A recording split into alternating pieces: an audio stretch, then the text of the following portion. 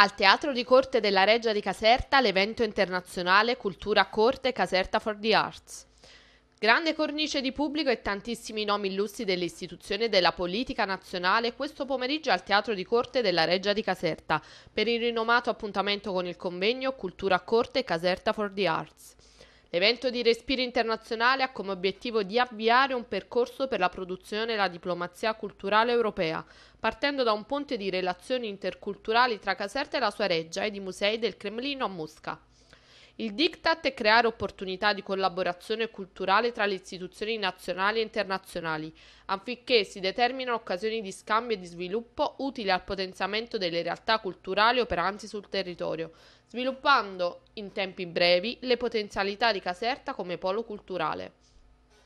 La kermesse ha avuto inizio con le giovani voci dell'Associazione Musicale Casertana Portavoce dell'Unicef, che hanno cantato l'inno alla gioia, accompagnati da piano e soprano. Poi il discorso del sindaco di Caserta Carlo Marino e di relatori che hanno spiegato le tematiche della sinergia. Sul palco Germana Di Falco, core expert politiche urbane e territoriali. Elena Gagarina, direttrice dei Musei del Cremlino di Mosca, Claudio Bocci, direttore Federculture e l'europarlamentare Nicola Caputo.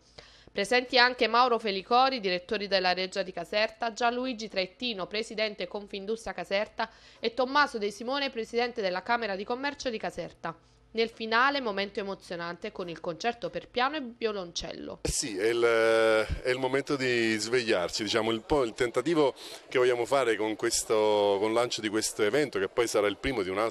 di, di una lunga serie di eventi, anche di manifestazioni, è quello diciamo, di scuotere un poco eh, la comunità e soprattutto diciamo, fare in modo che tutti quanti siamo più consapevoli diciamo, dei tesori che abbiamo e della possibilità di far diventare la cultura il nostro asset principale anche per lo sviluppo del nostro, del nostro territorio. Ci sono tutte le condizioni grazie eh, soprattutto alla, diciamo, al uh, New Deal che si è stabilito con uh, De Luca alla Regione, il sindaco Marino a Caserta,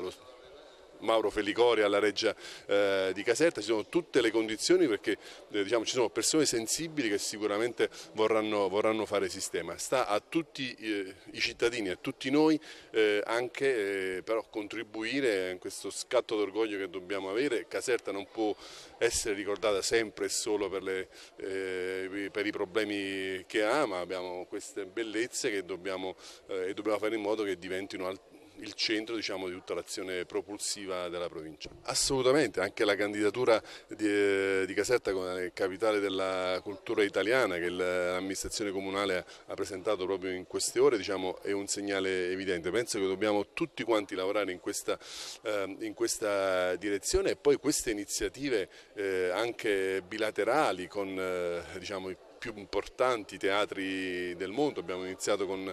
il Cremlino ma sono già in programma iniziative con eh, Salisburgo, Guavignone, diciamo, con una serie di altre città culturali eh, importanti del, dell'Europa diciamo, in modo tale da effettivamente diciamo, fare qualche cosa di concreto. Io penso che diciamo, dobbiamo smetterla di, eh, di, piangerci addosso, cercare un po' di, di scuoterci e soprattutto eh, eh,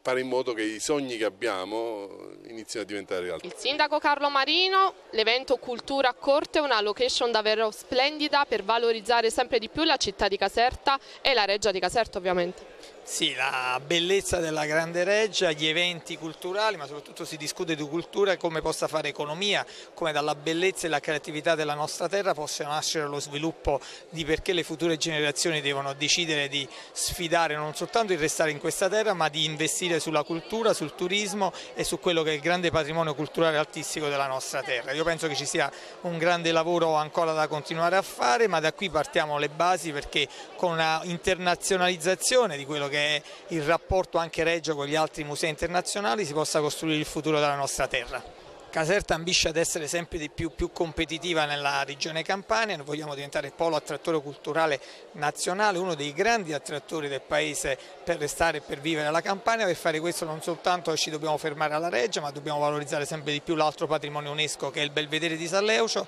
e la grande Caserta medievale. Avremo un'estate di eventi, avremo la Comunale, avremo le Leuciane, avremo finalmente di nuovo il settembre al Borgo, di qua vogliamo sfidare questi tre mesi di eventi estivi nei prossimi giorni presenteremo il nostro programma per far diventare Caserta attrattiva non soltanto nei musei ma anche nel restare nella città e farla diventare sempre di più punto di interesse per i turisti. È un bel momento quello di questa sera, ovviamente, ma l'intera presenza, i due giorni casertani della dottoressa Gagarina, che è direttrice del Museo del Cremlino, come sappiamo a Mosca, un museo molto importante, e la sua presenza a Caserta evidentemente dà un segnale di ripresa del turismo a Caserta. Il settore del turismo è un settore importante sul territorio casertano e il segnale di ripresa evidentemente sta arrivando anche all'interno dell'economia. Solamente nel 2016 le imprese registrate nel settore dell'economia sul territorio casertano erano 6.000 in continua crescita e quindi questa presenza, questo momento rappresentano probabilmente la strada da seguire insieme all'agroalimentare per il territorio casertano per dare evidentemente quel segnale di speranza all'intera provincia. Evidentemente abbiamo pagato un percepito degli anni passati che era un percepito di grande negatività perché venire a Caserta collegato a tutte le cose negative eh, diventava eh, improponibile probabilmente al turista, oggi che man mano che arrivano i turisti il passaparola diventa evidentemente il miglior argomento, la migliore pubblicità per il nostro territorio.